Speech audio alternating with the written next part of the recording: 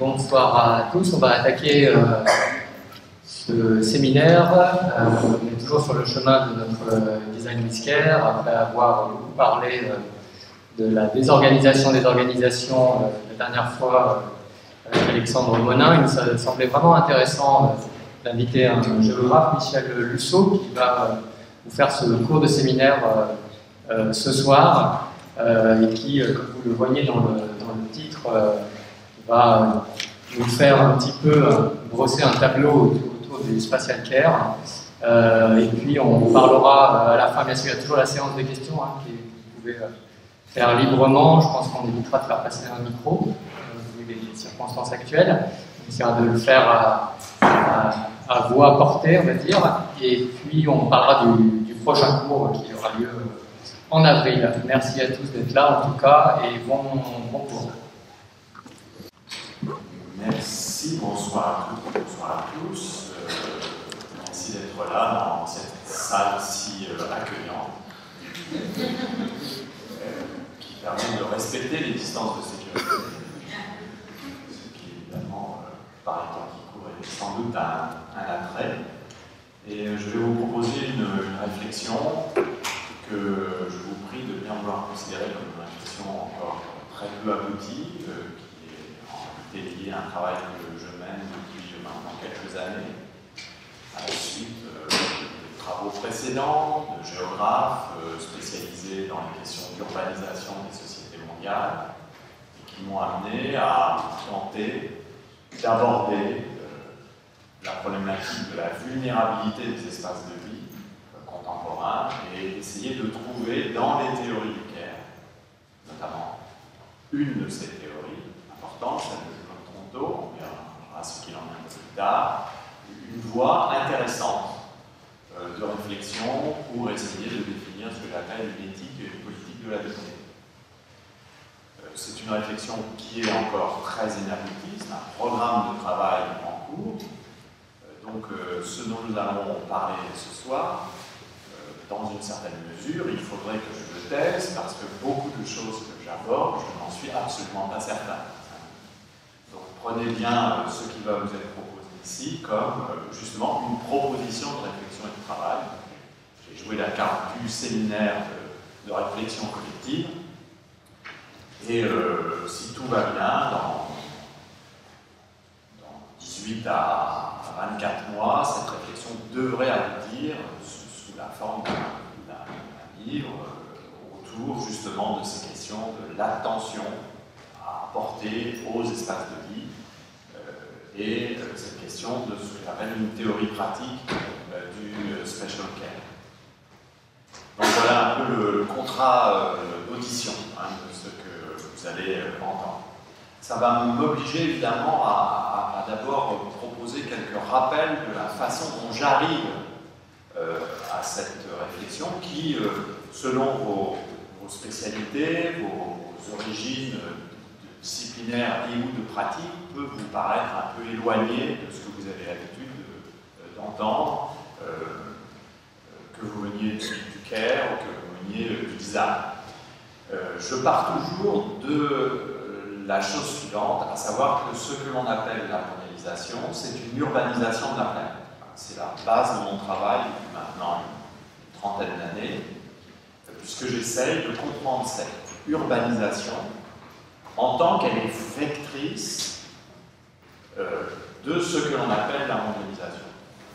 Fais partie de ceux qui refusent de euh, confondre mondialisation et globalisation économique, mais qui pensent que la mondialisation, c'est plutôt une mutation euh, systémique dans l'ordre de la façon que nous avons de cohabiter à l'échelle de la planète Terre. Donc c'est une mutation liée au déploiement de l'urbanisation, euh, dont on pourrait euh, euh, dire beaucoup de choses. Je n'en ai pas le temps ici parce que ça serait évidemment dévier le propos vers une réflexion sur l'urbanisation en elle-même.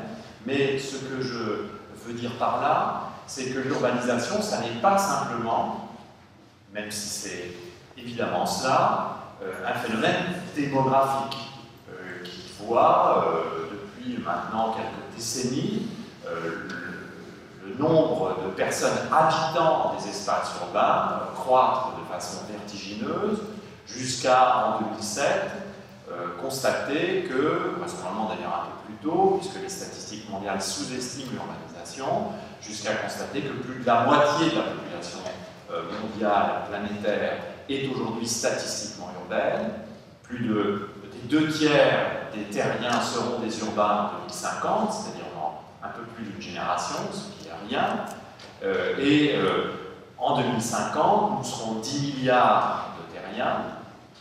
Il y aura donc à peu près 7 milliards d'urbains.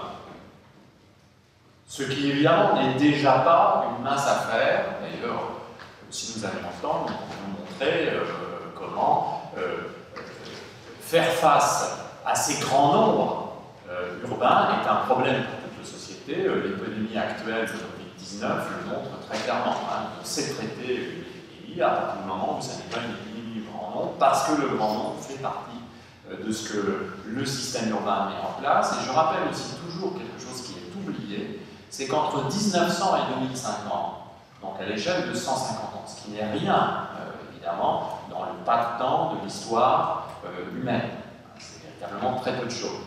La population du globe euh, aura été multipliée par 6,5. Sera passée en gros d'un milliard et demi à 10 milliards, plus ou moins, enfin, euh, peu importe, c'est l'ordre de grandeur. La population urbaine aura été multipliée par plus de 34. Donc on voit bien qu'il y a un différentiel colossal qui montre bien que la caractéristique des décennies que nous venons de vivre, c'est qu'elles nous ont propulsés dans une terre qui est désormais urbaine, euh, Homo sapiens est devenu Homo urbanus, si vous préférez, et ceci est quelque chose dont il faut évidemment tenir compte. D'abord par une pesée démographique, mais l'urbanisation ne serait qu'un phénomène démographique, ça serait déjà spectaculaire, mais finalement ça ne serait pas autant que ce que l'on peut en dire. Parce que l'urbanisation, c'est évidemment aussi un bouleversement des espaces de vie, de ce que l'on appelle en géographie le coumen, j'y reviendrai tout à l'heure en donnant un peu plus la définition de ce concept clé de la géographie, de sa concept clé pour la démarche que je propose. Donc les espaces de vie sont bouleversés par l'urbanisation. Que ces espaces de vie soient des espaces statistiquement urbains, l'espace de Shanghai est bouleversé par l'urbanisation, l'espace de Wuhan est bouleversé par l'urbanisation, l'espace de Sao Paulo est bouleversé par l'urbanisation, mais ce bouleversement des espaces de vie peut s'observer également dans les espaces non urbains statistiquement, et même paysagèrement. Lorsque vous allez contempler un espace de plantation de palmiers à huile aux alentours de Kuala Lumpur, vous n'êtes pas dans un espace statistiquement urbain, mais vous avez devant vous un espace qui est entièrement produit et tourné vers la satisfaction de besoins qui sont des besoins des marchés locaux. Donc on peut montrer en géographe, pour aller très vite, comment l'urbanisation bouleverse les espaces de vie, quels qu'ils soient, où qu'ils soient, même s'ils sont apparemment les plus indemnes, entre guillemets, de traces de l'urbanisation. On peut même montrer que la grande forêt amazonienne est aujourd'hui totalement un espace refabriqué par les exigences de fonctionnement du système urbain. D'ailleurs, lorsque Yair Bolsonaro lance la grande campagne de défrichement par le feu qui a abouti aux incendies les plus importants de la forêt amazonienne ces derniers mois depuis euh, quelques dizaines d'années, il le fait à partir de la du besoin de satisfaire les opérateurs économiques qui, encore une fois, sont des opérateurs économiques qui s'appuient sur le fondement urbain de la puissance économique brésilienne. Mais s'il ne s'agissait que de cela, ça, serait, ça serait déjà énorme, mais ça ne serait pas suffisant pour comprendre ce qu'est l'urbanisation, parce que l'urbanisation, c'est aussi un bouleversement des formes de vie. Je reprends le concept de forme de vie à un philosophe, Wittgenstein, qui parlait des formes de vie à partir de son analyse des jeux de langage pour décrire la façon dont les êtres humains organisaient leur manière de vivre en s'insérant dans des langages particuliers qui correspondaient en quelque sorte à la fois à leur ethos et à leur milieu en quelque sorte engagé. Mais on a pu ensuite euh, élargir ce concept de forme de vie pour renvoyer à tous les aspects matériels, culturels et symboliques de la vie humaine dans un contexte de. Nos formes de vie sont radicalement bouleversées par l'urbanisation. Nous pourrions multiplier les exemples, j'en donnerai euh, quelques cas tout à l'heure, mais il y a une urbanisation qui a changé nos manières de vivre. Mais ce qui est intéressant, et ça c'est la période actuelle où nous prenons conscience de notre entrée dans l'Anthropocène, hein, où nous prenons conscience euh, des effets du changement global, nous savons aujourd'hui que cette urbanisation a aussi changé les formes de vie des vivants non humains. La crise de la biodiversité des écosystèmes, qu'est-ce que c'est? La diminution de cette biodiversité, la disparition d'espèces, en particulier des espèces non pas les plus rares mais les plus courantes, par exemple les espèces d'oiseaux européens les plus courantes, dont les populations ont chuté de 30 à 70% dans les 30 dernières années, eh bien c'est un impact direct de l'urbanisation et de ses besoins sur les formes de vie non humaines. Aujourd'hui, lorsque vous travaillez avec un spécialiste des écosystèmes, ce que je fais à Lyon dans le cadre de mon programme sur les montures d'Anthropocène, tous ces spécialistes vous disent qu'il n'y a plus aujourd'hui aucun écosystème qu'on puisse considérer comme non urbanisé. Tous les écosystèmes sont urbanisés. Le vivant est totalement bouleversé par cette mutation de l'urbanisation. Mais plus encore, nous savons aujourd'hui, en raison même de ce que le changement global nous montre et des prises de conscience qui sont les nôtres, enfin les nôtres, pas de tout le monde, des prises de conscience euh, des dérèglements climatiques euh, en cours, qui ne vont pas arriver, ils sont en cours. Nous n'allons pas entrer dans l'Anthropocène nous y sommes. Nous y sommes sans doute d'ailleurs depuis quelques décennies.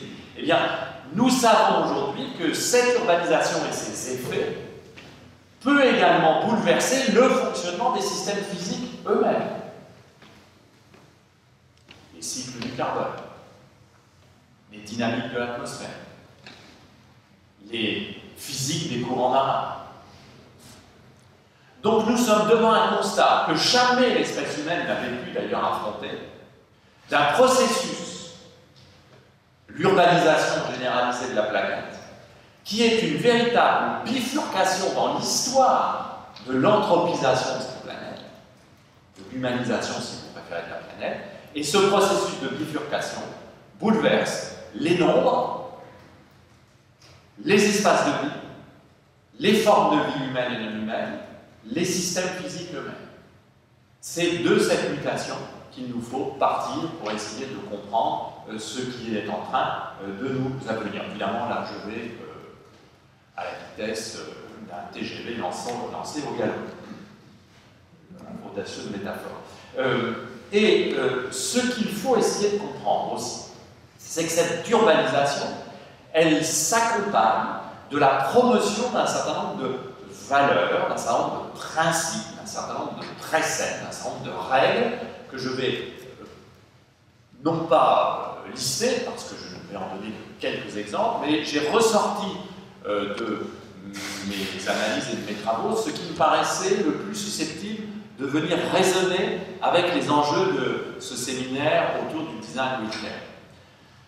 D'abord, les exigences de l'urbanisation ont accru l'empire de ce que j'appelle les géopouvoirs. Euh, j'ai forgé depuis quelques années le concept de géopouvoir dans la lignée directe de ce que Michel Foucault définissait comme les biopouvoirs, c'est-à-dire des instances qui ont la capacité à définir les principes pour organiser la vie. Par géopouvoir, j'appelle les instances qui ont comme capacité de pouvoir organiser la vie spatiale, organiser la cohabitation des humains et organiser la relation des humains avec leur environnement biophysique. Ces géopouvoirs, qu'est-ce Eh bien, ce sont les grands groupes de construction, les grands groupes de logistique, les grands groupes d'infrastructure, les grands acteurs publics de l'aménagement officiel du territoire, de l'architecture, de l'urbanisme, bref, toutes les instances, toutes les forces et toutes les entités qui sont en mesure d'apporter les moyens et les technologies qui vont permettre de fabriquer un bon espace de vie. On verra ce que signifie ce bon espace de vie un peu plus tard. C'est-à-dire un espace de vie en réalité conforme aux imaginations dominantes de l'urbanisation contemporaine. il faudrait aller un peu dans le occidentale. L'urbanisation contemporaine depuis 40 ans, depuis la chute du mur de Berlin, se manifeste aussi par la victoire d'un modèle d'urbanisation mondialisante, ce que j'appelle le modèle métropolisé euh, et globalisé, c'est-à-dire où un certain type d'urbain est promu comme la, la, norme, est promu comme le bon urbain, le bon espace urbain, et toutes les euh, entités urbaines mondiales se sont adaptées en quelque sorte à ce standard, à cette imagination géographique dominante qui a été une force instituante de la mondialisation depuis 30 euh, à 35 années. Ces géopouvoirs sont toujours dans une position, alors pourrions aussi montrer que ces géopouvoirs sont euh, parfaitement adaptés aux exigences de l'économie financiarisée.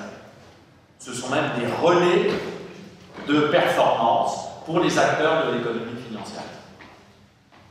Euh, on ne dira jamais assez qu'aujourd'hui encore, dans le monde de flux dont nous parlons, ce monde où les flux financiers sont d'ailleurs, nous le voyons en ce moment, extrêmement fragiles, extrêmement volatiles, un des fondements de l'économie, cela reste l'économie urbaine élémentaire fondée sur la rente foncière et sur la rente immobilière, sur la production de valeur ajoutée à partir du mètre carré de surface disponible. C'est encore ce qui produit le plus de rentabilité et le plus sûrement euh, placé. D'ailleurs, c'est un conseil que je donne à tout le monde. Si vous avez de l'argent à blanchir, c'est jamais, hein, ça peut arriver. Si vous avez de l'argent à blanchir, n'essayez pas de chercher des montages particulièrement audacieux, choisissez l'immobilier. Donc, euh, alors a des montages audacieux dans l'immobilier, mais il y a aujourd'hui quelque chose de tout à fait étonnant à l'échelle mondiale, c'est de voir comment les métropoles sont devenues des emplacements pour les flux financiers mondiaux. On a pu comme ça montrer comment l'Amérique latine, les métropoles latino-américaines, ont été depuis 35 ans complètement bouleversées dans leur structure, leur paysage et même leur organisation sociale euh, par l'investissement des fonds d'investissement destinés à garantir les retraites des salariés américains. Ça a complètement bouleversé les paysages métropolitains. Donc nous avons des groupes qui sont en relais des puissances économiques et qui sont toujours dans une position euh, que j'appellerais l'apologie de la puissance. L'urbanisation contemporaine, c'est quelque chose qui met en avant une apologie systématique de la puissance, de la performance, de l'excellence, de la réussite, de l'attractivité nécessaire pour faire venir les classes créatrices, pour faire venir ceux qui innovent, pour faire venir ceux qui créent, ceux qui sont disruptifs, ceux qui permettent à la société de franchir les verrous technologiques et les, et les barrières de savoir. Nous avons aujourd'hui complètement intégré cette imagination-là, fondée sur la puissance et la performance, au service des euh, et de leur fabrication d'un espace urbain conforme. C'est évidemment quelque chose qui m'a paru intéressant de mettre euh, ici en évidence avant de, progresser dans, l'analyse de ce que pourrait être, évidemment, c'est sans doute à, avoir le, procédé rhétorique, ce qui pourrait être justement le contraire de ce type de, proposition.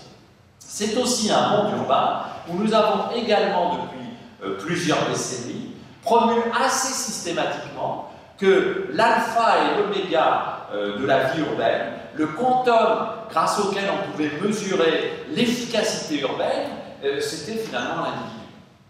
Qu'est-ce qu'une bonne métropole lorsqu'on regarde par exemple les classements des métropoles qui sont réalisés par les grands cabinets de consultants qui partout au monde se sont euh, dotés de départements cities, qu'est-ce qu'une bonne métropole? C'est une métropole qui satisfait les besoins des acteurs économiques, mais c'est aussi une métropole qui satisfait les besoins des individus, et en particulier des individus les plus créatifs, les plus au service de ces acteurs économiques.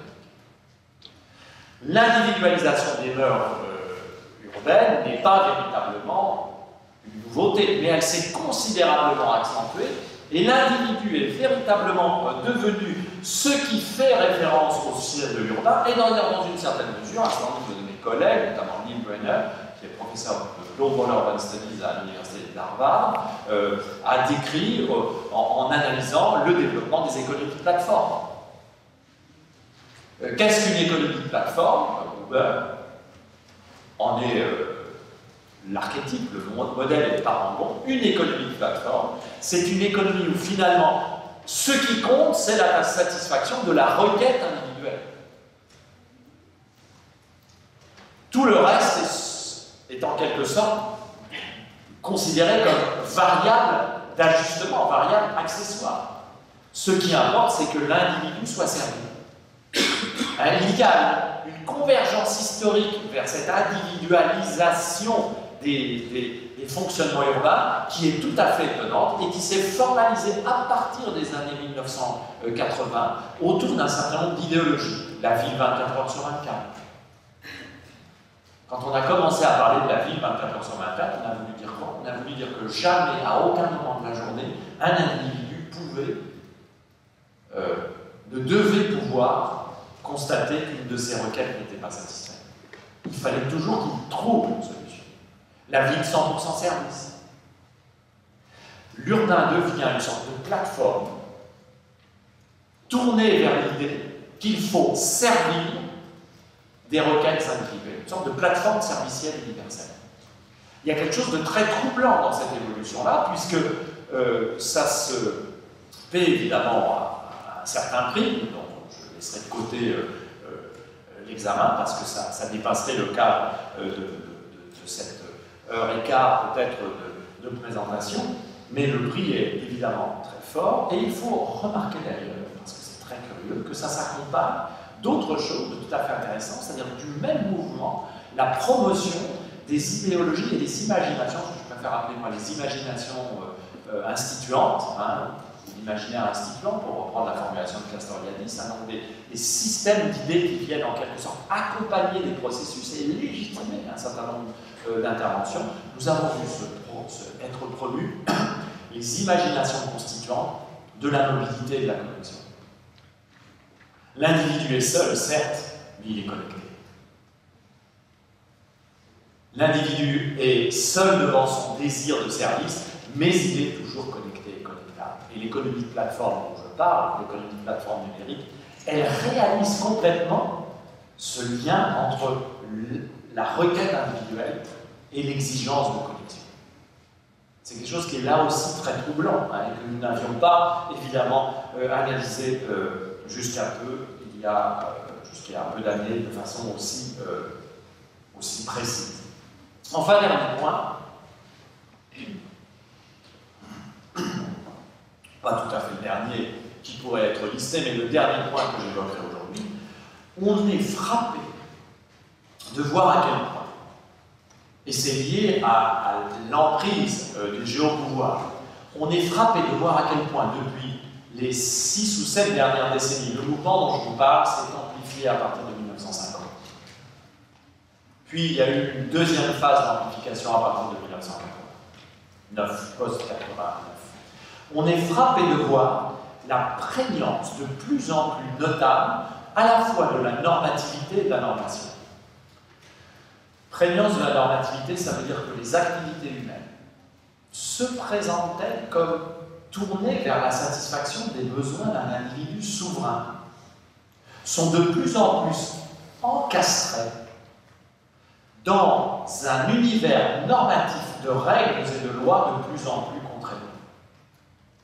En un paradoxe tout à fait saisissant d'un individu qui réclame sans cesse son dû, mais qui est de plus en plus inscrit dans des systèmes normatifs codés par le droit ou par le règlement, de plus en plus euh, prégnants, et qui gagne aussi un, nombre de domaines d'activité qui jusque-là n'étaient pas gagné par le droit. Il y a donc une sorte de diffusion de la normativité qui est complètement raccord avec la diffusion euh, de la forme de vie urbaine euh, dont nous parlons ici très rapidement. À côté de cela, est légèrement différent, même si on peut avoir l'impression que ça euh, concourt à produire la même chose. On constate également je suis en train de perdre ma voix parce que l'énergie est complètement à faute, mais ça, ça n'est pas très grave. On constate également une montée en puissance de ce que Michel Foucault appelait la normation. Euh, Foucault définissait globalement la normation pour aller vite comme l'ensemble des discours de vérité qui prétendaient définir des conformités de pratiques sociales. Non seulement nous sommes intégrés dans une normativité, mais nous sommes aussi de plus en plus inscrits dans des logiques de conformité à des pratiques sociales et culturelles, qui nous visent, qui visent à nous rendre à la fois compatibles avec les règlements et les lois et conformes à un certain nombre de standards de pratique. Et si on réfléchit bien, on voit comment l'existence de l'individu urbain souverain est une existence qui se déploie à l'intérieur d'un système normatif et d'un système de normation de plus en plus puissant. Et cette normation et cette normativité, elles viennent, elles traversent tous les individus.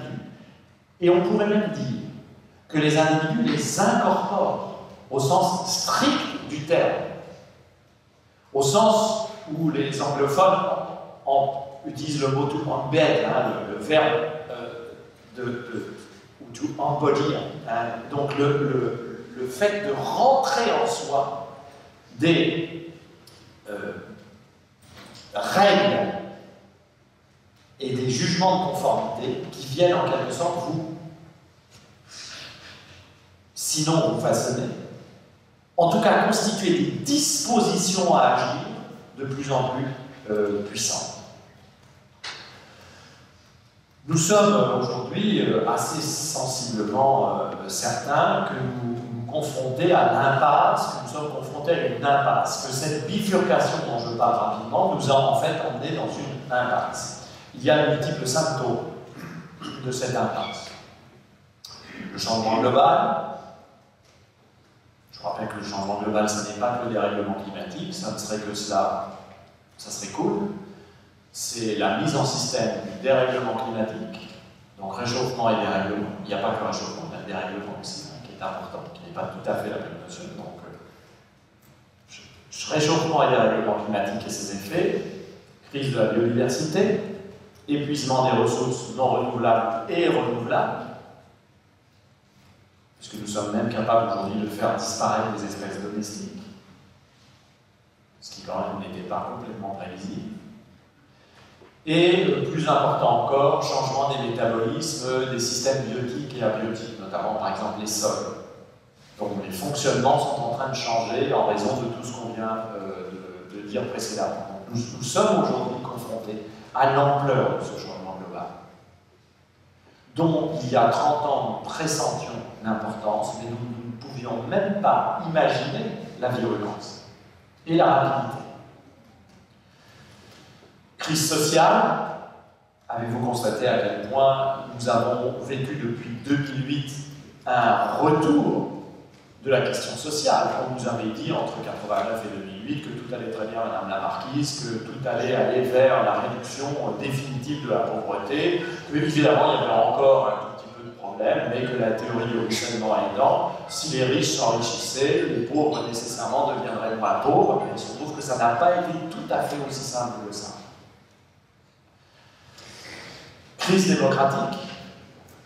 Euh, bon, là, je prends la peine, je n'ai pas, pas, besoin trop d'insister. Hein, crise démocratique. Tension culturelle. Repli identitaire. Fragilité des systèmes productifs dont on nous disait qu'ils étaient euh, surpuissants et qui montraient sans arrêt leur biscotto. Bon, regardez un tout petit coronavirus de rien, et pas le chien. Franchement, c'est à se demander ce qui se passerait. Euh, bon, bref. Épuisement à une échelle plus individuelle, pardonnez-moi, je change d'échelle là. Euh, problématique autour de l'attention, avec une grande angoisse liée à la diffusion du numérique, avec euh, aujourd'hui une, concentration de travaux très intéressants sur les questions d'attention. Stress, perte de sens, etc. Devant euh, ces symptômes, on peut évidemment s'en sortir en disant que ce qui manque, c'est de ne pas avoir été sérieux dans la mise en place du référentiel en cours. Donc il faut toujours plus, en quelque sorte, de géopouvoir, de surpuissance, etc., etc. Mais on peut aussi penser qu'il serait plus utile de changer le référentiel. et de changer le référentiel en repensant un certain nombre de choses. Fin d'introduction, c'est ce que je propose euh, dans euh, euh, la suite de, ce propos. Changer le référentiel, je suis géographe,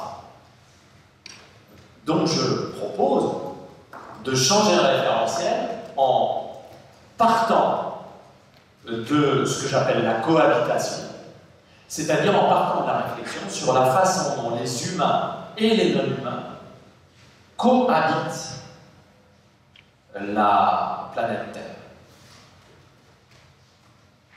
Puisque tout mon travail consiste à montrer que l'organisation de l'écoumène, je vais définir le terme ensuite, c'est finalement un processus qui résulte tout simplement de la cohabitation entre les êtres humains et entre les êtres humains et les non-humains.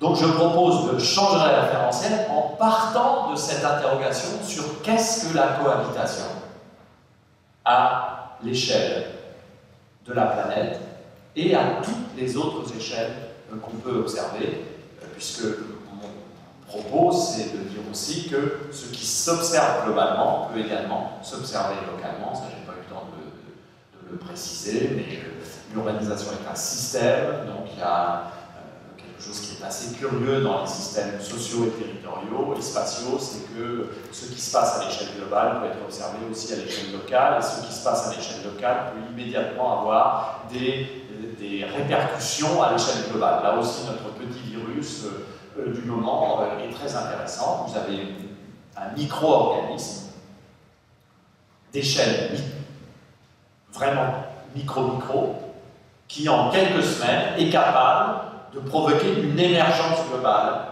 une configuration de fonctionnement du système planétaire qu'on n'avait pas connu en période de paix. C'est une illustration assez claire de ce que les premiers systématiciens, les premiers théoriciens des systèmes complexes, pas tout à fait les premiers, ceux euh, qui ont euh, commencé à réfléchir à partir de la cybernétique, euh, illustraient, vous savez, cette idée que beaucoup de gens ne comprenaient pas, d'ailleurs, le premier, hein, vous avez peut-être ça, le battement d'aile papillon, d'un papillon euh, euh pouvait euh, provoquer une tempête dans l'hémisphère nord. Ça, ça, paraissait euh, très joli, hein, un papillon puisse provoquer une tempête, mais bon, so what, alors on voit tout de suite. Un éternuement dû au Covid à Wuhan provoque trois mois après une, une un état de stress global qu'on n'avait pas imaginé il y a quatre mois. Donc c'est ça aussi que nous découvrons dans cette cohabitation contemporaine. C'est l'impossibilité de délimiter désormais les échelles. Donc quand je vous parlerai d'espace habité, vous verrez que tantôt je prends des cas plutôt micro, tantôt des cas globaux, euh, mais ce n'est pas par désinvolture, c'est simplement parce que de facto, on s'aperçoit que toutes ces échelles fonctionnent désormais dans une sorte de collision et de collusion permanente. Toutes. L'idée, c'est donc de partir de l'œcumène, un très beau concept de la géographie. Ça vient du grec, un concept qui vient du grec, c'est béton. Euh, donc, euh, ça vient du grec, donc ça vient du grec oikos, qu'on retrouve dans écologie, avec retrouve aussi dans l'économie, ce que les économistes ont oublié. Et oikos, c'est un mot qui, comme toujours en grec classique, a plusieurs sens, mais ça converge globalement vers l'idée que l'oikos, c'est ce qui est de l'ordre, on pourrait prendre un mot français très simple, l'équivalent du foyer, c'est-à-dire de tout ce qui est nécessaire à la vie d'un groupe mis en cohésion par un, foyer, par un feu, par un logis, en quelque sorte. Le goumène pour les géographes, c'est devenu donc le concept qui permet de définir l'habitat des êtres humains. Attention, habitat, pas au sens de la résidence, parce que là, on ne comprendrait pas ce que je vais dire, mais l'habitat au sens du concept d'habitat tel qu'il est défini par les sciences naturelles, puis l'écologie d'ailleurs au XIXe siècle, l'habitat, c'est l'espace de vie d'une espèce. Il y a donc un habitat humain, l'espace de vie d'une espèce. Sapiens, quelques centaines de milliers d'années à son actif, euh, grosse capacité de performance, hein. élève doué, travailleur, est capable du meilleur comme pire. A tendance à privilégier. Mais néanmoins, cet espace de vie de l'espèce, c'est cela qu'on appelle le coumen, et cet coumen, vous voyez bien que c'est un produit historique, c'est une construction historique. Euh, si euh, j'avais euh, fait cette conférence à la Sorbonne en 1350, le mot coumen aurait existé, mais il n'aurait absolument pas dit la même chose qu'aujourd'hui. Puisqu'aujourd'hui, la caractéristique de l'œcumène urbanisé, c'est qu'il est devenu totalement homologue à la planète Terre, congruent à la planète Terre. Il est même d'ailleurs un tout petit peu plus grand. Puisque nous envoyons des satellites partout, D'ailleurs, la 5G va nous permettre, youpi, d'envoyer des milliers et des milliers de satellites partout. Vous savez que le plus grand lanceur de satellites 5G, c'est Tesla, hein, c'est Elon Musk. Pourquoi lancerons beaucoup de satellites 5G en basse altitude? C'est pour assurer quoi Que vous puissiez évidemment échanger vos de vacances en temps réel.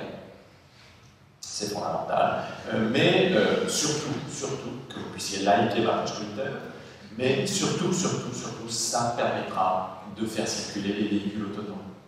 Voilà pourquoi Tesla est gros lanceur. L'enjeu majeur de la 5G, c'est en particulier les systèmes de surveillance et le véhicule autonome. Nous produisons énormément de satellites nous envoyons. L'espace circumterrestre, ce qu'on avait d'appeler l'espace, est aujourd'hui un espace humain. Ça fait partie de l'œcumène. C'est-à-dire que notre il s'est dilaté. Il est un tout petit peu plus grand que la Terre. Allez, si notre œcumène euh, va jusqu'à euh, la station euh, orbitale qui, était presque en sortie du système solaire, enfin qui a croisé la dernière planète, ben, il est jusque-là aujourd'hui, cet œcumène-là. Il est sur la Lune, possiblement, quand nous y sommes. Il est sur Mars le jour où nous y serons. Il y a d'ailleurs dans les départements d'université américaines des euh, départements et des laboratoires d'exogéographie financés souvent par la NASA, à l'époque où la NASA avait l'argent, abandonnable, euh, et qui euh, réfléchissent à la façon dont on va pouvoir, sur Mars, produire de l'espace humain. Ridley Scott a fait un très bon film là-dessus qui s'appelle Hello, Punch, hein, Seul sur Mars où euh, ce pauvre Matt est abandonné par son équipage à-dessus d'une boulette et se retrouve euh, tout seul sur Mars, avec pas grand-chose d'autre que, que ses excréments pour survivre. Tout seul sur Mars avec ses excréments, le pitch n'est pas génial, mais le film est très très bien fait. Donc il y a véritablement un espace humain, un écoumène terrestre qui s'est dilaté, qui va au-delà de la Terre. D'ailleurs, il y a signe euh, l'Organisation des Nations Unies s'est dotée depuis d'ailleurs plusieurs années, euh, et pas simplement depuis quelques temps, d'une instance internationale pour réguler la question des déchets satellitaires, des débris satellitaires, et ça tous les archéologues le disent, quand il y a des poubelles, il y a de l'humain. Donc nous avons un écoumène qui aujourd'hui, non seulement est congruent de la planète Terre, mais même va légèrement et ça, c'est évidemment quelque chose de tout à fait euh, étonnant, dont il faut euh, tenir compte. Eh bien, la proposition que je fais, c'est qu'il faut considérer cette époque en renonçant aux imaginations du géopouvoir et de la puissance, et à rebours en prenant en compte une idée forte, c'est que cet espace, cet égoumène des êtres humains, à quelque échelle qu'on le considère, du logis à l'écoumène global est toujours déjà vulnérable. Ce que je propose donc, c'est d'incorporer, d'adapter à la théorie géographique toute la réflexion sur la vulnérabilité et la fragilité qui nous vient d'une certaine philosophie et d'un certain nombre de sciences sociales qui, depuis maintenant une trentaine d'années, ont le plutôt tendance à insister sur la fragilité, la vulnérabilité des vivants. Donc ce que je propose, je vous propose, c'est d'essayer de comprendre ce que voudrait dire intégrer la vulnérabilité dans la réflexion sur l'habitat. Et une vulnérabilité qu'il ne faut pas considérer comme simplement l'exposition à un risque qui nous viendrait du dehors. Ça, c'est la théorie classique du risque. La théorie classique du risque, c'est que vous avez des établissements humains qui sont puissants, qui sont assurés, qui sont bordés par les infrastructures, qui sont stabilisés par les géopouvoirs, qui s'appuient sur des techniques, et de temps en temps, ben, vous avez quelque chose qui vient de l'extérieur, qui nous menace, et qu'avec un peu de bol, on va essayer de concilier, on va se le concilier, ce risque qui vient de l'extérieur par une technologie adaptée. Ce risque, ça peut être une inondation, un coup de vent, un tremblement de terre, une épidémie. Une épidémie, ça vient toujours de l'extérieur. Vous êtes d'accord? C'est ça qu'on fait de la quarantaine. C'est pour ça qu'on ferme les frontières. Ça vient de l'extérieur. C'est une menace dont il faut se protéger. Bon, les écosystémiciens qui font de la virologie, ils disent non, c'est un produit extérieur, ça vient de l'intérieur. Ça vient de la façon dont nous cohabitons aujourd'hui avec les humains et la recombinaison des virus animaux et virus humains, ça existe depuis le néolithique a fixé une écologie relationnelle entre les humains et les humains qui n'est pas celle des chasseurs-cueilleurs, qui avait d'autres types de commerce avec les virus. Donc, si vous voulez, ça ne vient pas du tout de l'extérieur, c'est en, à l'intérieur de la manière dont les habitats se constituent. D'ailleurs, il faudra reprendre cette analyse à froid de la pandémie, comme je l'avais fait euh, euh, pour le SRAS. J'avais euh, fait une longue analyse dans un, livre paru en 13 qui s'appelait L'avènement du monde, et montrer en fait que le déploiement de cette pandémie-là est totalement lié à ce que j'ai dit tout à l'heure sur la mise en place du système humain. Ça vient complètement de l'intérieur. Ce n'est pas quelque chose qui nous tomberait dessus par fatalité. c'est une production du système lui-même. Et donc nous arrivons à quelque chose de tout à fait étonnant. C'est que cette vulnérabilité n'est pas quelque chose qui nous menace marginalement, mais c'est quelque chose qui est une composante essentielle de tout habitat. C'est-à-dire, tout habitat humain a toujours déjà été vulnérable et tout habitat humain le sera, quel que soit le type. Donc, c'est plutôt quelque chose qui consiste un peu, comme on le verra tout à l'heure en prenant la théorie classique du Caire, de Toronto, la, filière de Toronto, c'est-à-dire en gros, ou euh, des travaux comme en France, ceux de Frédéric Worms, par exemple, ou euh, peut-être Cynthia Fleury, c'est de dire ben, finalement, cette vulnérabilité, cette fragilité-là, elle est intrinsèque. On ne peut pas la congédier. On ne peut pas la mettre de côté. On ne peut pas s'en prémunir par une, une idéologie et une ingénierie du risque qui nous mettrait toujours plus puissants à repousser des assauts qui viennent de l'extérieur, non parce qu'elle est là et que si on a la croyance de croire qu'on peut la repousser par nos technologies, elle reviendra par un autre chemin. Donc, je vous demande de bien vouloir prendre très au sérieux cette hypothèse de la vulnérabilité, de la vulnérabilité intrinsèque et généralisée de toute habitation humaine à toute échelle. Alors évidemment, vous voyez bien qu'immédiatement ça coince, puisque j'ai décrit le système mondial comme un système fondé sur la puissance. Et je vous propose une lecture de l'espace humain comme en réalité une lecture, un espace humain en réalité fondamentalement appuyé sur la vulnérabilité. Mais là encore, je, crois que nous vivons bien aujourd'hui des moments qui nous permettent de montrer à quel point nos puissances sont fragiles. À quel point ce qui se présente comme le plus fort est en réalité le plus exposé à la moindre anicroche. Là, il, n'est pas question d'hiver nucléaire dans ce qui est en train d'arriver au système euh, économique, financier, touristique, mobilitaire mondial, il est question d'un petit virus à la létalité relativement moyenne. Donc nous voyons bien à quel point cette fragilité, elle est au cœur du système. Évidemment, on va essayer de l'oublier très vite, alors qu'on pourrait très bien justement la retourner pour se dire, mais que fait-on de cette vulnérabilité-là? De quoi est-elle porteuse? Que permettrait-elle si on la considérait C'est évidemment la proposition que je finirai bien par vous faire, euh, que je ne m'attarde pas trop sur chaque diapositive. D'où euh, l'idée de la vulnérabilité qui tient les espaces de l'intérieur. De même que la vulnérabilité tient tous les vivants de l'intérieur, ou tient les vivants.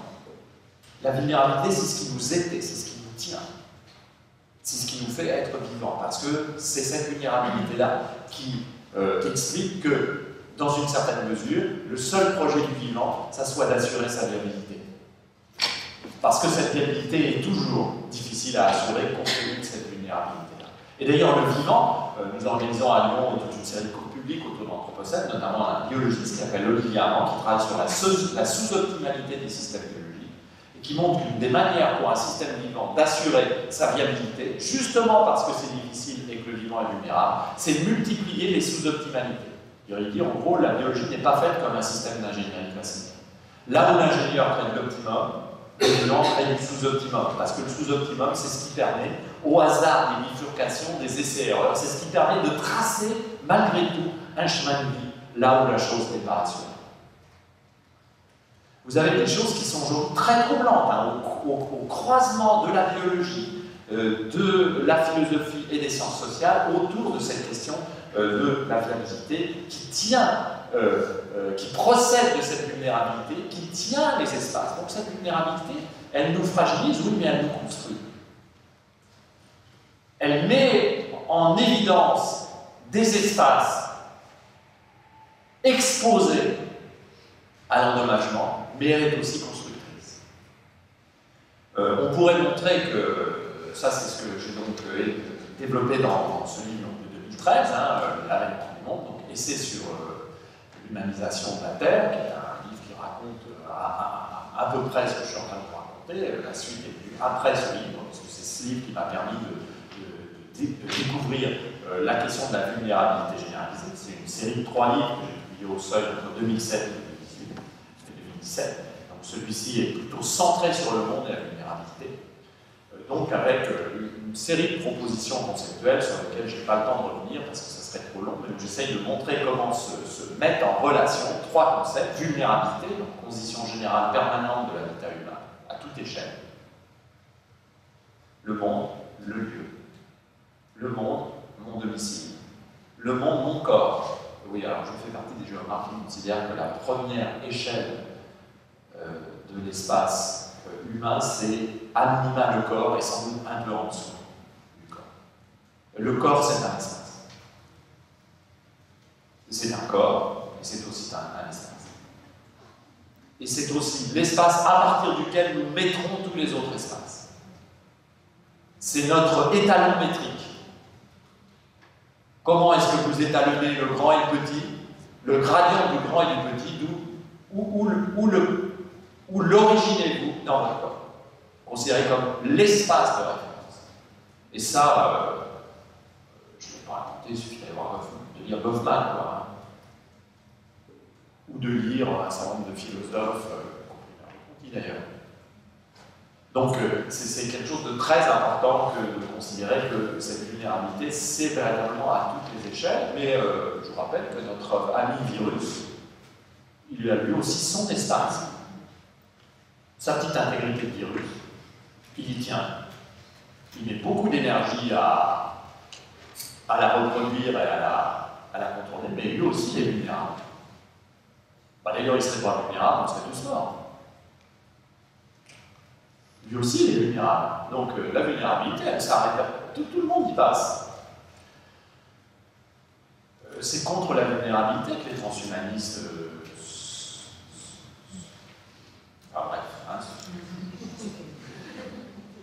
L'immunité, alors là, je fais un, ce serait trop long, mais c'est un truc que je repique à un, auteur que j'aime beaucoup, puis qui en même temps m'agace, tous les gens qui le connaissent et qui lisent, c'est Peter Sloterdijk, hein, le philosophe allemand, dans sa théorie sphère, dans laquelle il dit finalement le but de la philosophie, c'est de rendre le système immunitaire explicite.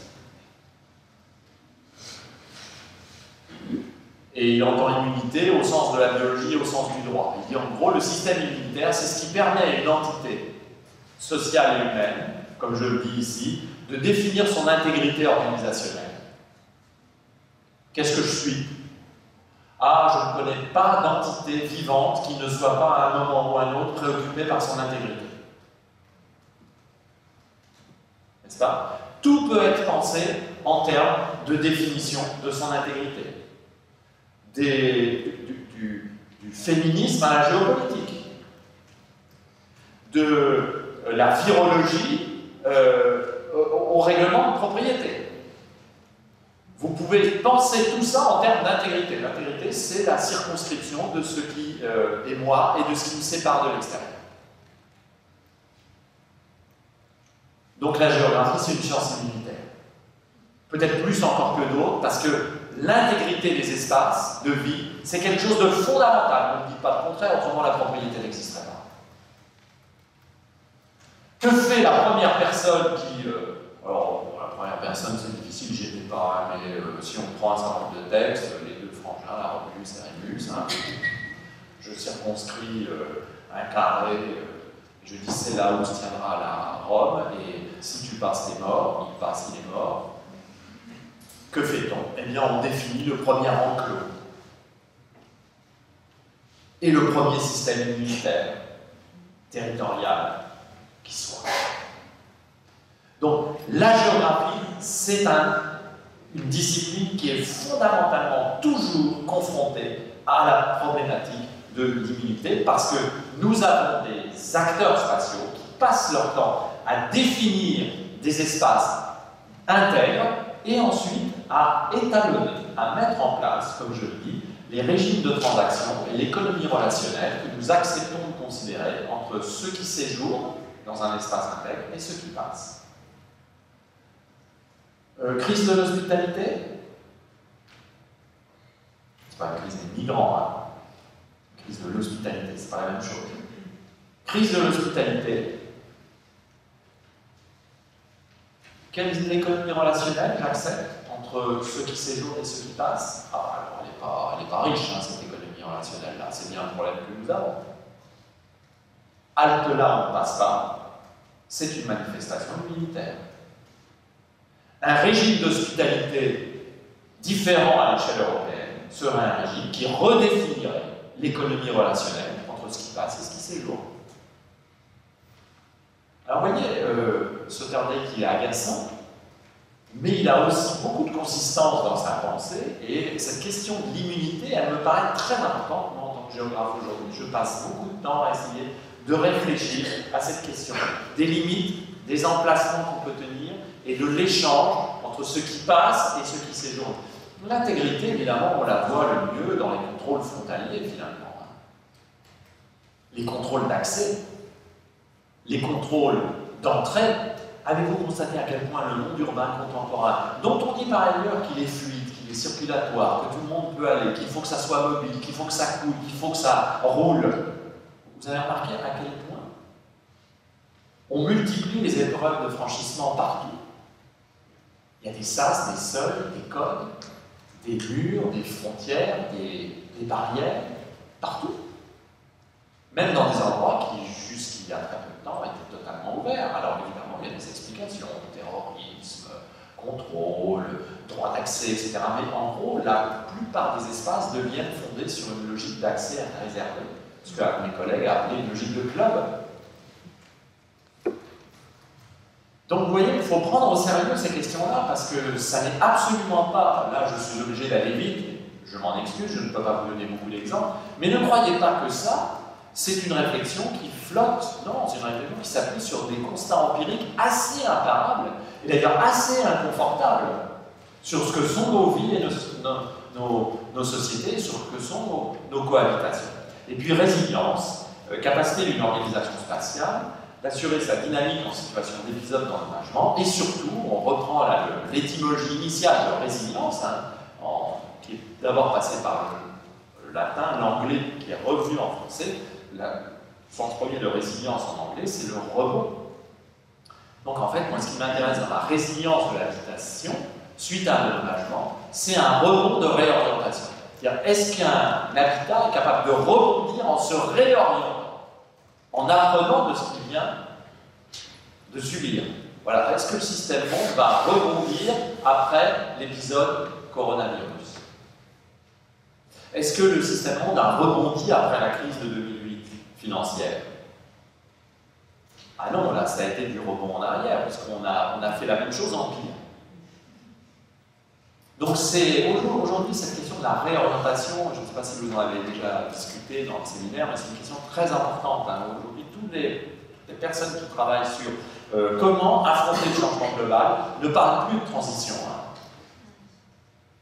Très très peu, ou simplement pour, pour aller vite et pour expliquer les choses. On parle de plus en plus de réorientation des modes d'adaptation. Comment réorienter? Vous voyez, il y a une bifurcation, comment réorienter les choses et ça me paraît plus porteur. L'Anthropocène, c'est donc ce moment culturel et réflexif. L'Anthropocène, c'est un mot qui ne va pas du tout à une époque géologique, c'est une époque purement historique. C'est un moment où nous prenons conscience de ce que je viens de vous dire, c'est-à-dire de la vulnérabilité et de la nécessité de se réorienter. Je, passe vite parce que euh, je suis trop long. Et euh, il faut euh, sortir du paradigme aller à risque qui extériorise la menace, puisque la menace, en quelque sorte, il y a toujours de l'intérieur portable, genre on sait. Et il faut mettre en place un nouveau paradigme, et c'est ce que je vous propose dans les 30 minutes qu'il en faut restant.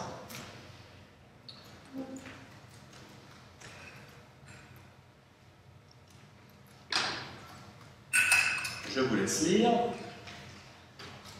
Est-il possible de tenir compte de cette condition vulnérable de l'œcumène à toutes les échelles, et d'en faire un champ d'action collective?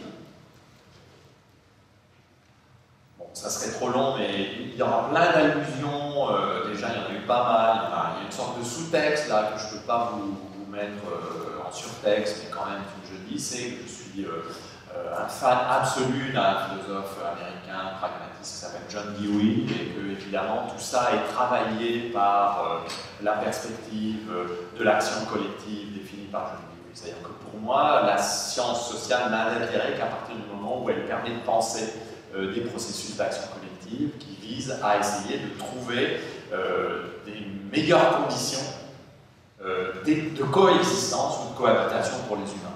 Pour moi, la géographie, c'est une science qui permet d'objectiver les conditions d'habitation afin de faire en sorte que les actions collectives puissent permettre d'établir des conditions de cohabitation plus justes et meilleures pour le plus grand nombre. Une fois que c'est dit, euh, on sait, euh, mais euh, c'est pour ça que la question de l'action collective est évidemment pour moi très importante. Un projet éthique, on, on en éthique aujourd'hui, hein, beaucoup, notamment en matière d'éthique de l'habitation. Or, la question environnementale aujourd'hui, c'est une question Euh, développer une extraction de gaz de schiste, c'est juste ou pas?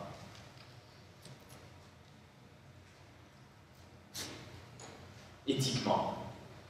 Je parle pas économiquement, je parle éthiquement. D'ailleurs, même économiquement. Ça n'est économiquement juste parce qu'on est dopé aux stéroïdes anabolisants du carbone fossile. Ça, pourrait très bien se jouer d'une autre façon. Donc, vous voyez, les questions environnementales, c'est que les questions éthiques questions sociales, qui sont souvent des questions environnementales, c'est que des questions. Est-ce que c'est juste ou pas d'avoir un système scolaire ségrégatif? Dont le caractère ségrégatif s'est renforcé dans les 30 dernières années. Est-ce que c'est juste ou pas d'avoir un système de soins territorial à pleinement de vitesse Aujourd'hui, on n'est même capable de faire face aux besoins peut-être d'accepter euh, synchroniquement dans un pays de 60 millions d'habitants, plus de 10 000 personnes en réanimation sous respirateur. Ça, aujourd'hui, on ne sait pas faire. Cinquième puissance mondiale, plus grand système hospitalier public avec celui de la Grande-Bretagne, dit-on. 10 000 personnes, on n'est pas capable de trouver 10 000 places en réanimation. Vous voyez, ça va vite, hein, les questions. On arrive vite dans le mur. Hein. Donc toutes les questions sont des questions qui sont évidemment des questions qui très vite deviennent des questions Les questions d'habitation, et les questions dont on va sont toutes des questions d'habitation, parce que ce sont toutes des questions qui renvoient à la manière dont on cohabite un espace. Ces questions-là sont tout de suite des questions éthiques, et puis c'est des questions de justice. La justice spatiale étant la traduction en action des résolutions de conflits éthiques. Pour ça, il faut refuser les ingénieries, l'aménagement et l'organisme de la puissance et classiques, et il faut plutôt s'inspirer d'approches anthropologiques et philosophiques de la vulnérabilité pour concevoir ce qu'on appelle aujourd'hui un ménagement de l'ocumène. Donc il faut peut-être plus aménager les territoires, mais plutôt ménager les habitations. Alors pour ce faire, je, propose maintenant depuis euh, 3 à 4 ans, euh, de, dans le cadre d'un programme de recherche, de partir d'une tentative un peu euh, étrange, euh, mais qui m'intéresse bien, de transposer au champ dont je viens de parler, la réflexion sur l'habitation humaine, la théorie du Caire. Alors pourquoi étrange? Bah, Parce qu'on pourrait avoir l'impression que la théorie du Caire, donc Tronto, inspiré par Gilligan, mais vraiment avec ce, monument de travail philosophique qu'est la proposition de Tronto, qui pour moi est c'est vraiment très très important, et pas simplement euh, pour ceux qui s'intéressent au Caire, une philosophe fondamentale de philosophie politique et de philosophie éthique et morale. Euh, Tronto euh, propose une définition du Caire qu'on pourrait, une approche du Caire qu'on pourrait penser à 100 000 lieues de ce que nous venons de parler. En réalité, elle est centrale. Et il suffit de pas grand-chose pour s'en apercevoir, il suffit de lire en fait, comme souvent. Hein. Euh, donc, il suffit de lire et on s'aperçoit que Tronto a une définition Caire qui n'est pas du tout une définition confinée et restrictive du Caire, puisque pour elle, le Caire, c'est une manière de penser l'humain et de penser le social. C'est pas une manière de penser le soin. C'est secondairement une manière de penser le soin. C'est d'abord une manière de penser l'humain. Et on a fait un contresens à peu près total en France pendant longtemps sur les théories comme celle-ci. Une activité générique, je la cite, qui comprend tout ce que nous faisons pour maintenir, perpétuer et réparer notre monde, entre guillemets, les guillemets sont d'elle, de sorte que nous puissions y vivre aussi bien que possible. Ce monde comprend nos corps, nous-mêmes et notre environnement, tous éléments que nous cherchons à relier en un réseau complexe en soutien à la vie.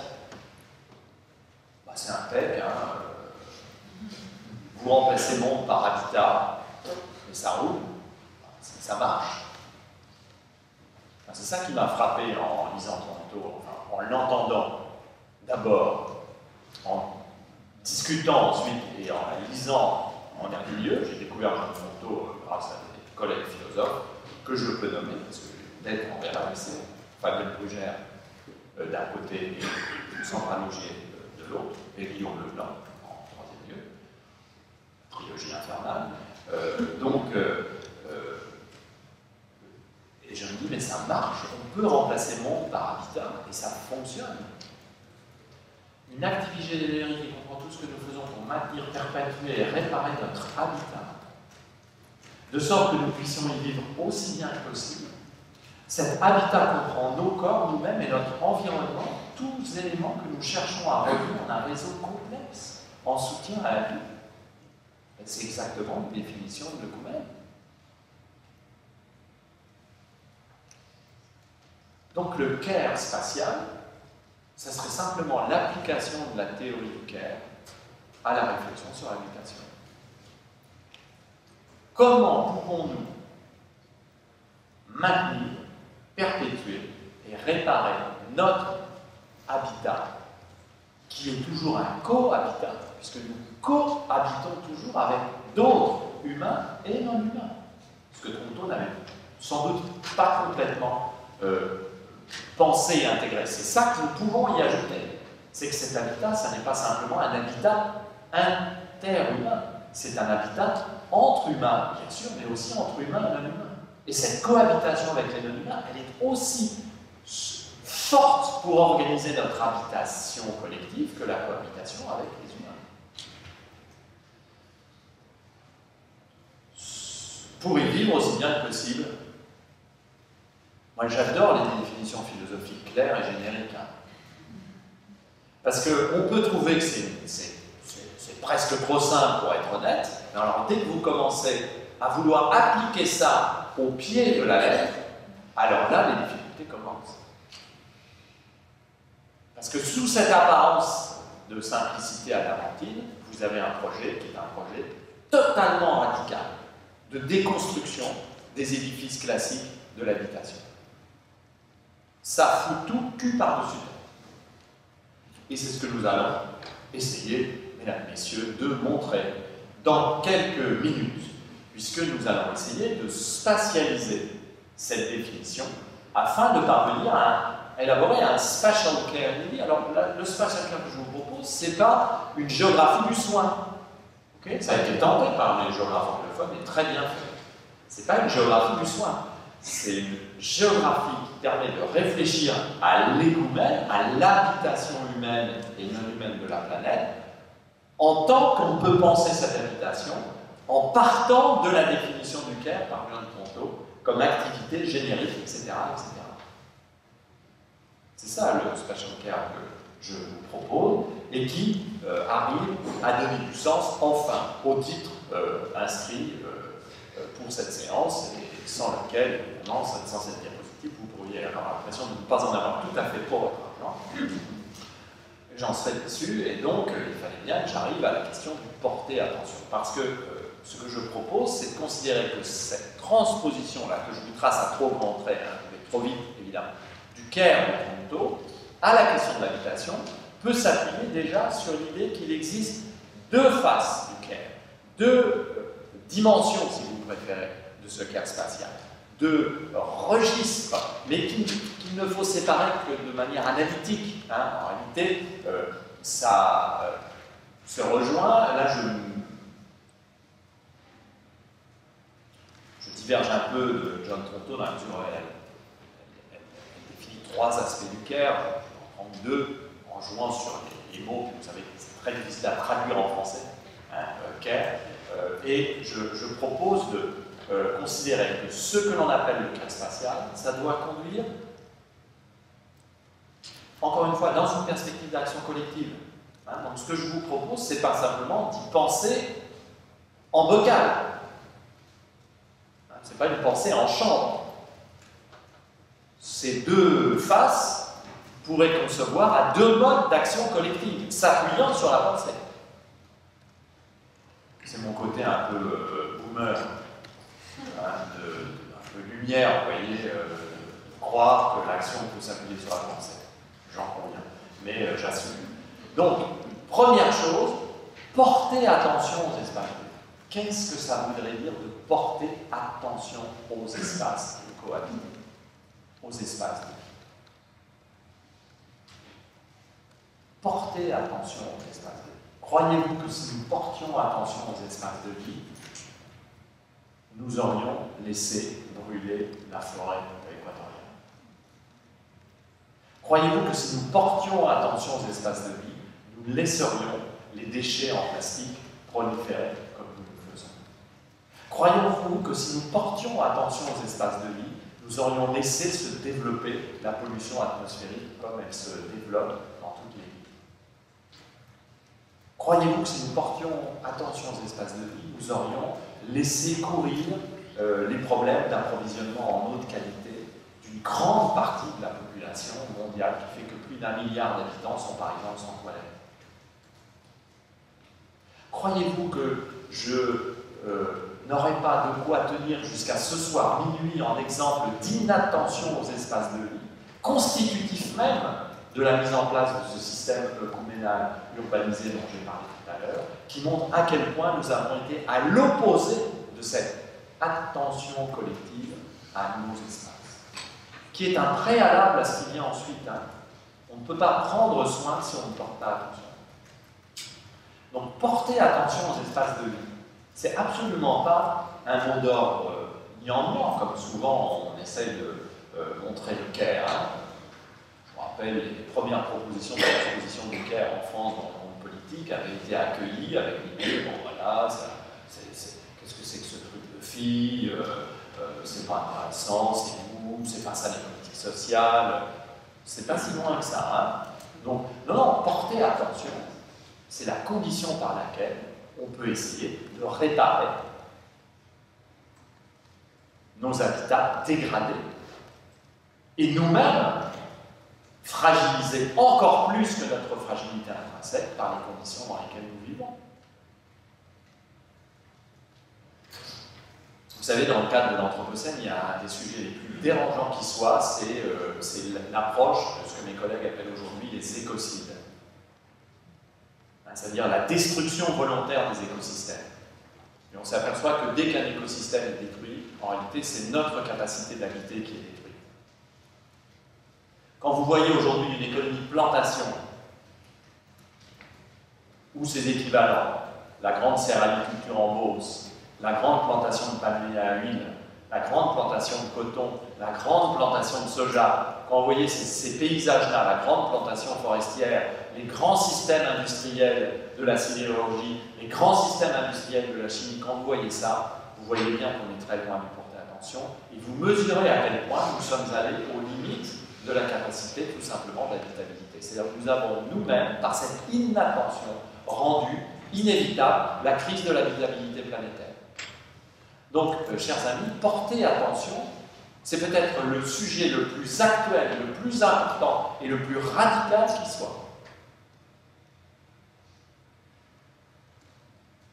Porter attention, ça veut dire en fait essayer de comprendre ce qu'il en est de nos relations entre humains et non-humains, spatialisées dans une configuration d'habitat intègre. Comment s'établit l'économie relationnelle entre tous ceux qui composent un espace? Je ne sais pas si vous avez eu l'occasion de lire euh, ce très beau livre d'entretien entre Philippe Descola, anthropologue au de France, et Pierre Charbonnier, philosophe, qui vient de publier un livre remarquable qui s'appelle Abondance et liberté, sur une histoire environnementale des théories économiques. Ils ont fait un livre d'entretien, La composition des mondes, dans lequel Descola développe ce concept très intéressant que finalement nous composons nos mondes d'existence. Les activités humaines sont ainsi faites qu'elles nous poussent à composer un monde d'expérience et d'existence en commun et à le composer avec l'ensemble de ce qui euh, fait commerce avec nous, humains et non humains. Humains vivants, humains non vivants. Hein, n'oublions pas les humains, les non humains, humains non vivants, humains vivants, humains, je vais le refaire, humains vivants, et non-humains vivants et non-humains non-vivants. Parce que nous composons aussi des mondes avec de l'inerte, avec des minéraux, avec du sable, avec du, matériel non-vivant. Et cette part du non-vivant dans nos habitats, elle est très forte. Ça s'appelle l'architecture, par exemple. Ça s'appelle les dispositifs techniques.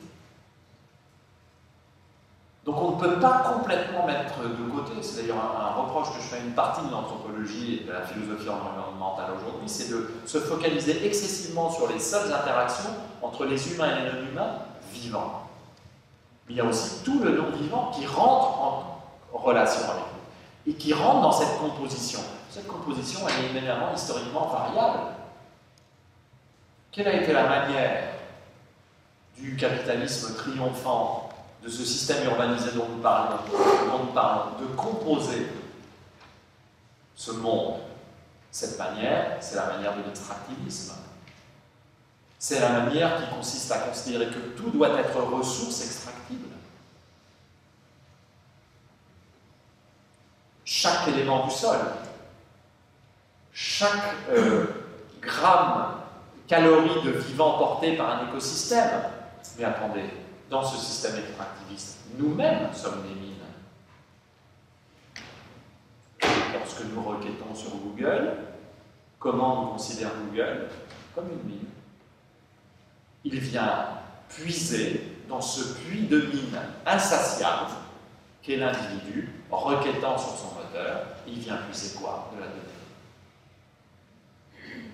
Le système ne tient que parce que nous sommes des mines dans le cadre d'une logique extractiviste. Ah oui, quand on voit ça comme ça, ça, devient un petit peu plus embarrassant, parce que ça veut dire qu'effectivement, nous sommes dans un extractivisme généralisé, où chaque opérateur tente de maximiser sa capacité d'extraction de ressources, de tout ce qui peut faire ressources. Bah, c'est peut-être euh, ce type de modalité relationnelle qu'il faudrait remettre à plat, non? Comment le faire? Sinon, en portant attention aux espaces de vie. Parce que ce que je vous propose ici, c'est de revenir à une capacité d'observation de ce qui se passe. Capacité presque diagnostique, voyez? D'aller observer ces interrelations et de identifier donc les fragilités écouménales euh, les plus euh, caractéristiques, parce que ce sont ces fragilités-là euh, qui vont nous permettre de savoir ce que nous pourrions conduire comme action collective. Deuxième principe, prendre soin des caractéristiques d'un habitat qui permettent l'unité et la résilience sans empêcher toute évolution. Et là, il faudrait réfléchir à tous les mots du prendre soin qui ne sont pas pour moi synonymes. Ça peut vouloir dire soigner, mais ce n'est pas simplement ça le prendre soin dans le cadre du spatial care. Ça peut vouloir dire potentialiser, quelque chose qui n'a pas besoin d'être soigné, qui a besoin simplement d'être mis en, en potentiel d'agir. Des choses oubliées, des capacités perdues, des ressources euh, économes et sobres, mais qu'on n'a plus l'habitude d'activer. Que nous perdons l'habitude d'activer un certain nombre de ressources. Regardez tout à l'heure, on était complètement en état de panique, de stress, quasiment en position latérale de sécurité, parce que nous n'avions pas le bon branchement pour le diaporama. Bon, c'est pas grave, on va faire ça. Hein. Repotentialiser des compétences. Ça, ça veut tout simplement dire ça. Être capable de remettre en potentialité des choses qu'on a oubliées, qu'on a mis de côté, parce qu'on estime que c'est plus c'est plus nécessaire, c'est plus aussi efficace. il y a des choses qui le sont encore. Euh, ça peut vouloir dire réparer. La thématique de la réparation aujourd'hui est très forte. C'est très intéressant cette idée de réparation. C'est pas tout à fait soigner, c'est autre chose. Ça peut vouloir dire recomposer. Parfois, ça peut vouloir dire de rien faire.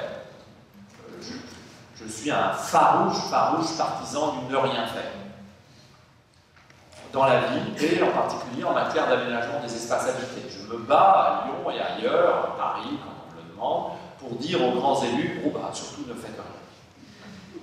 N'aménagez pas trop. Les berges de fleuve, laissez-les tranquilles. Les espaces publics, n'y touchez pas. Laissez les espaces de respiration, et l'espace de rien. Le design, parfois, c'est ne rien faire. C'est pas le plus simple, c'est même le plus compliqué aujourd'hui à réaliser que d'être parfait dans son action de ne rien faire. Et d'en donner une explication et un sens. Vous voyez, porter attention, prendre soin. Comment ces deux choses s'apparent. Et alors, euh, bon là c'est pour dire que euh, je, pars toujours dans, dans tous mes livres de cas très locaux mais toujours aussi pour montrer que ces cas très locaux ne sont jamais à concevoir comme des conteneurs, comme des capsules, comme des silos. Ce qui est fascinant dans les espaces cohabités, humains non humains, c'est qu'en réalité tout ce qu'on croit fermé, c'est ouvert et traversé. en réalité, nos espaces sont toujours traversés parce que ce sont des espaces de cohabitation qui sont traversés par des lignes d'action, notamment des vivants, et parfois des, non-vivants, ah parce que des fois il y a de la crue qui traverse. Et ça, c'est ma tête à l'égard d'un autre extraordinaire penseur, vous connaissez sans doute, qui est Tim Ingold, l'anthropologue britannique, notamment dans sa théorisation des lignes, quand Ingold montre qu'en fait, tout objet, même le plus intègre qui soit, eh lorsqu'on déconstruit cette intégrité, on s'aperçoit qu'il est ce qu'il appelle un meshwork, c'est-à-dire une trame, qu'il est une traversée de lignes de vie et d'action. Donc je vous rassure, s'intéresser au, au, porter attention et prendre soin, ça ne veut pas dire s'encapsuler dans un espace de vie local. C'est plutôt comprendre ce qui le traverse, ce qui laisse des traces. Et comment on peut s'appuyer sur ça pour mettre en place cette action collective euh, dont j'essaye de vous parler. Allez, en... il est 25, chers organisateurs, j'ai encore euh, Bon là j'ai encore 4h30, hein, mais euh, allez, en un quart d'heure. Comment aller un peu plus loin pour essayer de réfléchir à l'institution possible de ce que j'appelle une écologie politique de l'attention, écologie au sens strict du mot écologie. Alors je préférerais jouer sur les mots, mais là, on un jour que j'abusais. J'adore les néologismes.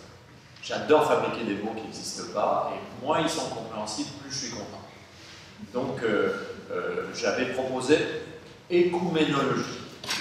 Je trouvais ça très chic, mais on m'a dit que là, vraiment, c'était pas possible. Donc, je garde écologie euh, un peu dans la même idée, voyez, une écologie au sens d'une capacité à comprendre les liens à l'intérieur d'un écoumène, les relationnalités à l'intérieur d'un écoumène, les relationnalités qui résultent de cette composition dont on parle.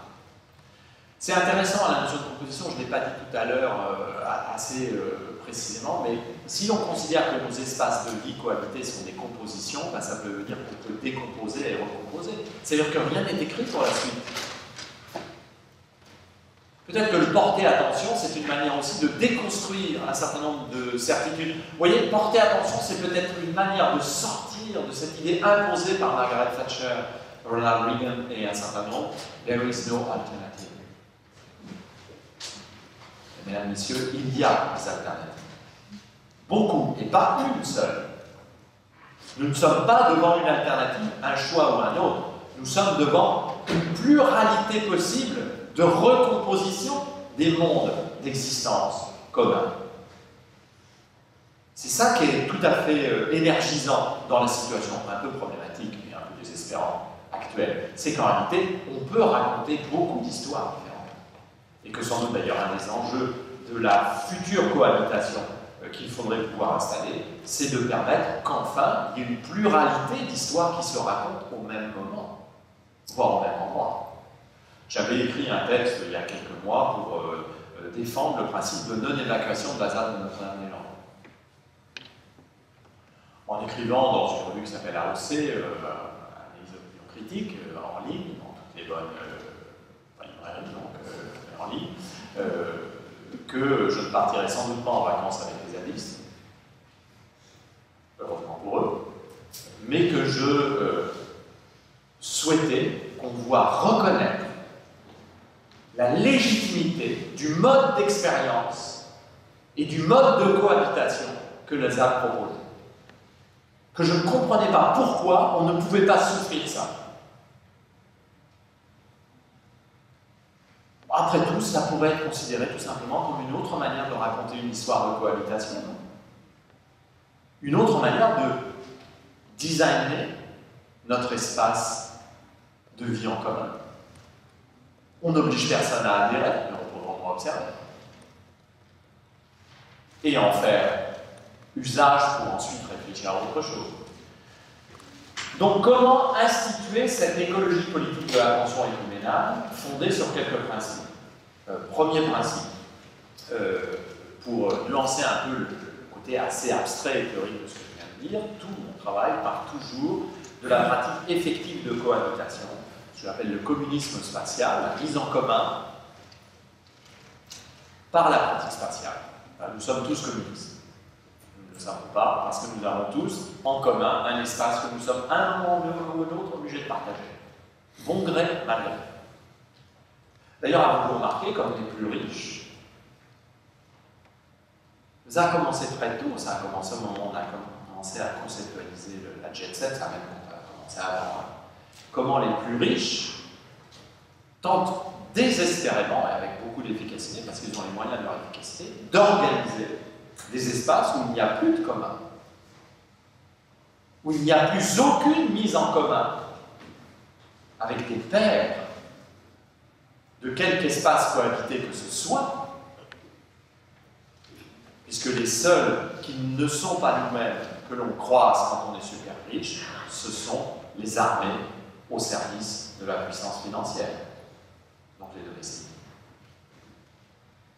il y a du côté des super riches quelque chose qui nous montre vers quoi le monde peut aller.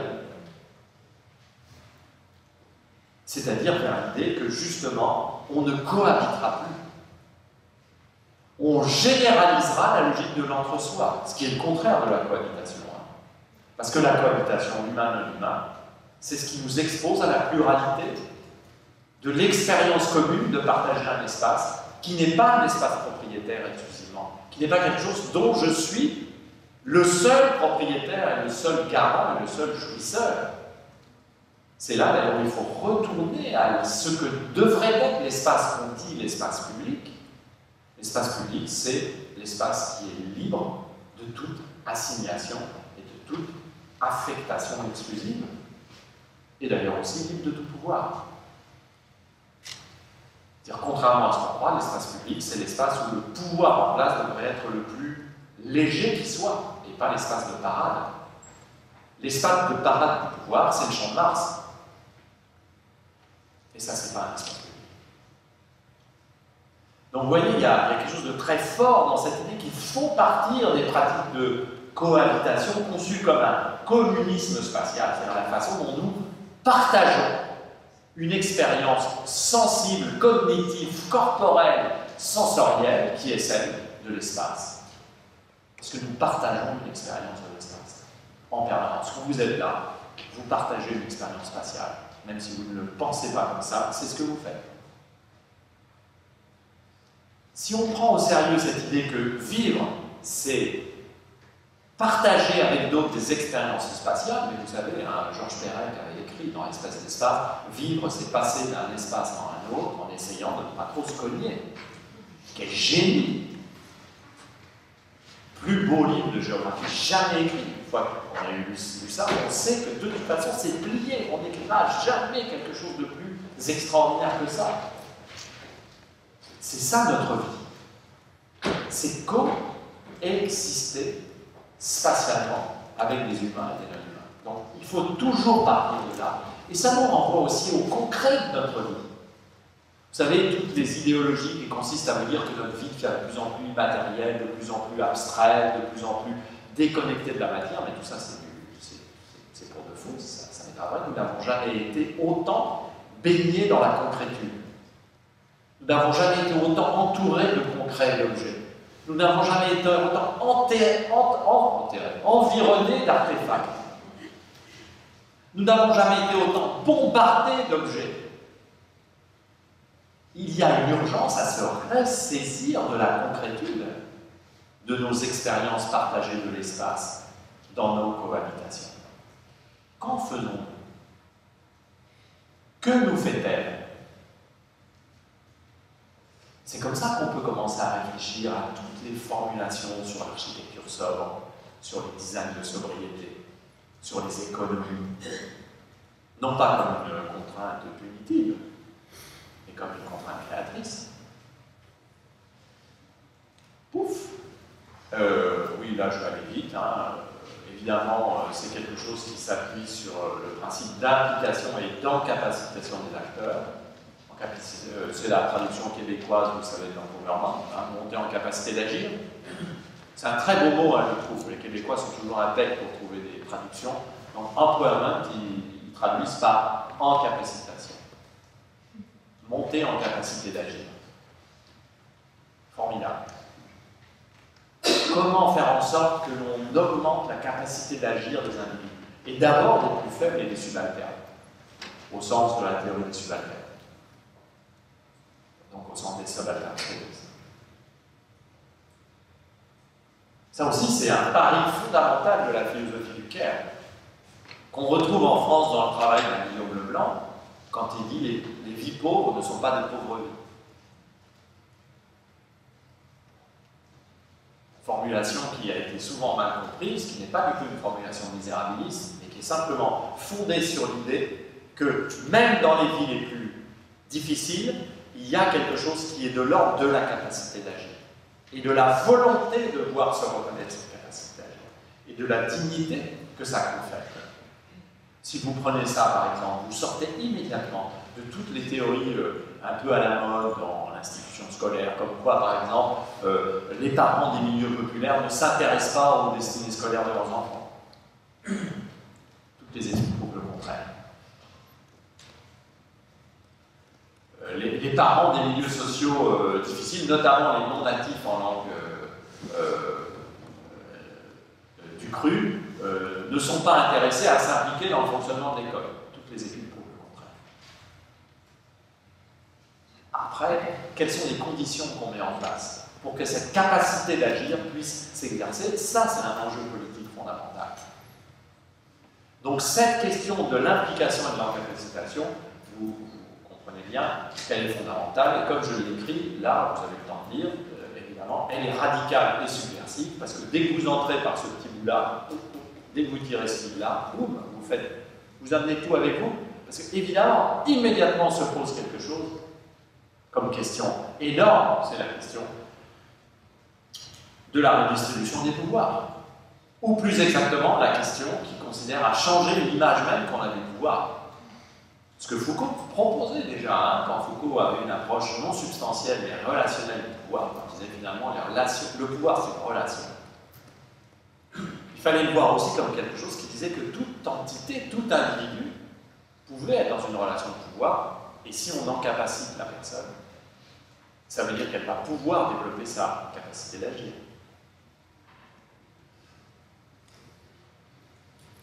Bon, ça, ça serait formidable euh, si j'avais le temps d'expliquer, évidemment, les théories du CAIR, ce qu'elles ont d'extraordinaire, c'est qu'elles nous permettent, contrairement à ce que beaucoup de gens disent, non pas de réfléchir sur la dépendance des faibles, mais sur l'interdépendance de tous, de tous les composants d'un système, de tous les composants d'un habitat. Cette approche du CARE, c'est ce qui permet de dire qu'il y a une interdépendance entre tout. Et cette interdépendance, elle redistribue toutes les cartes de la force et de la fragilité. Elle replace, là où il y avait apparemment des impossibilités, elle replace des possibles. Je vais vous donner un exemple très frappant dans le monde de l'Anthropocène aujourd'hui. Très frappant dans son potentiel. Je dirais pas que c'est dans son potentiel. Avez-vous constaté à quel point, dans toutes les problématiques de la lutte contre les effets du changement global, dans toutes les mobilisations actuelles pour accélérer les prises de décision des pouvoirs publics d'État en matière de politique de lutte contre ces effets du changement global, avez-vous constaté à quel point on voyait réapparaître euh, la parole et la pensée des peuples premiers, des peuples autochtones, des peuples indigènes, à quel point ces peuples qui ont été mis au marge, mis au banc des savoirs, de l'histoire, de l'action, redeviennent des références. À tel point que toute une grande partie de l'anthropologie contemporaine s'appuie par exemple sur leur capacité à diagnostiquer les relations non humains non humains, à porter attention justement aux espaces de vie pour promouvoir quelque chose de différent. Il y a vraiment quelque chose de très troublant dans cette idée de l'interdépendance qui relance complètement la réflexion qu'on peut avoir sur qui peut agir, qui peut ne pas, qui doit ne pas, sur qui est en capacité d'intervenir et d'avoir des actions efficaces et qui n'est pas en capacité. Et puis surtout l'interdépendance, ça veut dire qu'on ne peut pas séparer, qu'on ne peut pas couper les liens. Ça veut dire aussi que ce qui arrive très loin de moi à quelqu'un de faible, en réalité, ça m'arrive aussi à moi, dans une certaine mesure. Ça me concerne. Dans un domaine euh, humain, quand j'arrive, Bolsonaro dit euh, ce qui se passe en Amazonie, ça regarde les Brésiliens. Ben non, ça regarde tout le monde. Ça regarde les Indiens d'Amazonie, mais ça regarde aussi nous ici, ça nous regarde nous aussi ici, en tant que terrien, intégré dans un système interdépendant et dans un système d'interdépendance généralisée. Donc l'insistance sur l'interdépendance, elle est véritablement fondamentale parce que l'interdépendance, c'est ce qu'on observe le mieux dans la cohabitation. Qu'est-ce qui nous permet de prendre conscience de l'interdépendance? Eh bien, c'est l'observation des manières de cohabiter. Bon, ça, ça va très vite. Euh, le CARE, c'est aussi une théorie de l'incertitude. Hein. C'est amusant de le rappeler. C'est-à-dire, euh, comme je l'écris, on ne sait pas exactement ce qu'on fait, mais il faut le faire. Et c'est très important d'accepter l'incertitude, parce que si on n'accepte pas l'incertitude, eh tout simplement, il y a des choses qu'on ne fait plus. Donc Donc c'est une heuristique très très fondamentale que, de dire euh, on ne sait pas ce que fait ce qu'on fait, mais il faut le faire. Ça veut dire qu'il faut expérimenter, ça veut dire qu'il faut tenter, ça veut dire qu'il faut tenter des recompositions, ça veut dire qu'il faut agir même quand on n'est pas certain.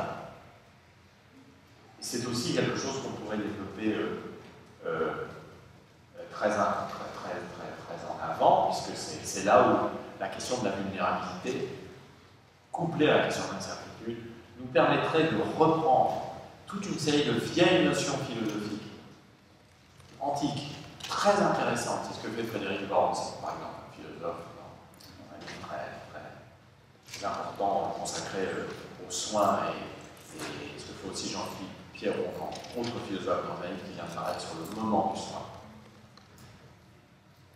Le concept de mesure, de prudence, enfin, d'ailleurs phronésiste, c'est pas prudence, c'est sagacité pratique, hein, qui est une vertu tout à fait importante dans la conduite des affaires humaines. Et que la logique de puissance a tendance à complètement mettre de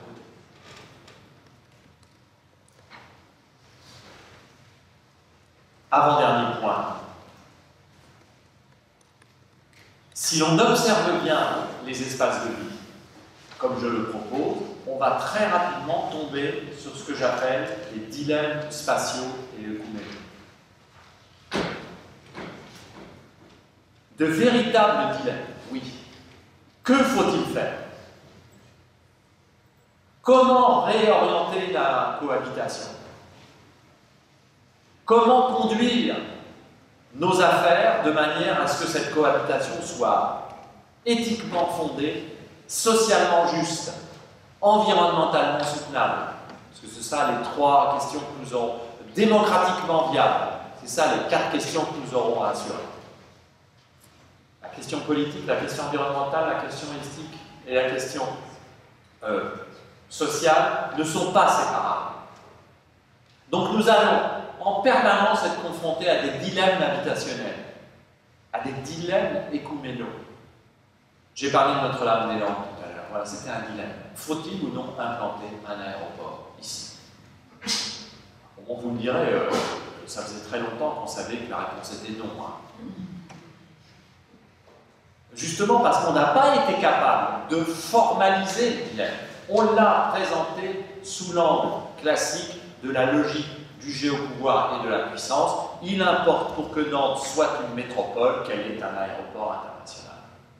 On n'a absolument pas dilemnisé, si l'on peut dire, on n'a absolument pas problématisé dans le cadre d'une attention aux espaces de vie cette question de l'implantation.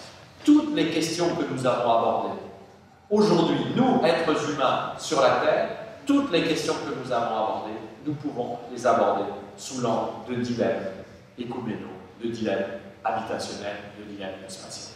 Absolument Il n'y en a pas une qui fait exception à la règle. D'ailleurs, je vous ferai remarquer que, pardonnez-moi cette obsession, j'adore le virus, euh, même la question de la réaction par rapport euh, au SARS-2 peut être posée en termes de dilemme spatial. Faut-il confiner ou pas? Faut-il confiner tout le monde, comme on le fait en Italie et en Chine ou pas tout le monde, ou même presque personne, comme on le fait dans une bonne partie des cantons suisses? Dans une bonne partie des cantons suisses, on a fait complètement différemment. On a dit on ne va pas confiner, mais on va se préoccuper des personnes qu'on peut a priori considérer comme les plus exposées. Va demander aux personnes de plus de 65 ans de ne pas circuler, ou de peu circuler, ou à certaines heures. Par exemple, de ne pas utiliser les transports en commun aux heures de pointe. C'est un dilemme de spatial. C'est un dilemme dans euh, la, mesure où ça nous pose des questions sur la façon dont on, on organise notre manière de cohabiter dans une période de crise. Changer les mobilités euh, pourra passer par des formes de mobilité moins carbonées c'est immédiatement un dilemme spatial, parce que immédiatement, ça veut dire qu'il va falloir penser à la mobilité automobile. Alors là, je peux vous dire, c'est le dilemme le plus spatial qui soit et à toutes les échelles. Il n'y a qu'à ouvrir 5 minutes la télévision, vous savez ce vieux machin là, sur un bouton, il y a des images qui bougent, euh, pour s'apercevoir qu'il y a la publicité, la culture automobile contemporaine n'est pas morte. Hein. Donc, euh, c'est un dilemme spatial. Euh, comment faut-il faire évoluer nos régimes alimentaires de manière à ce que l'agriculture soit plus proche des nécessités environnementales et que peut-être aussi l'alimentation permette de lutter contre, par exemple, l'épidémie d'obésité? C'est un dilemme spatial. Tout y passe, amis. En plus extrêmement, rien ne reste à l'écart. Donc je propose toujours de partir de ces dilemmes-là. Tout, mon travail de géographe, en fait, parle toujours d'une situation de, dilemme spatial, où l'espace de vie en commun fait problème, fait dilemme, et on peut essayer petit à petit de progresser vers sa résolution. Et euh, enfin, pour terminer, à partir de là, on peut envisager que euh, cette démarche euh, est un processus de construction de publics spatiaux, de publics territoriaux. J'aime pas trop le mot territoire, ce serait trop long à, expliquer. Hein. de publics d'un espace de vie consistant pour la constitution d'un public autour d'un dilemme communal et d'apprentissage collectif d'un autre rapport des individus et des groupes aux espaces de vie. Euh, là aussi, c'est le sous-texte John Dewey, parce que Dewey pensait que l'action collective, c'était un processus d'éducation permanente, fondé sur la capacité du public de se mobiliser autour de problèmes et de faire enquête collective autour de ce problème. Ce dont je vous parle, ces dilemmes, c'est l'entrée en matière pour les enquêtes collectives que nous devrions être capables de développer et qui nous permettrait à la fois de porter attention et de prendre soin de nos espaces de vie voilà quelques mots sur cette proposition du Spatial Care, dont j'espère vous avoir donné euh, quelques éléments de lecture et de compréhension, en vous excusant d'avoir été un trop long et deux sans doute euh, trop abstrait. Merci de votre attention.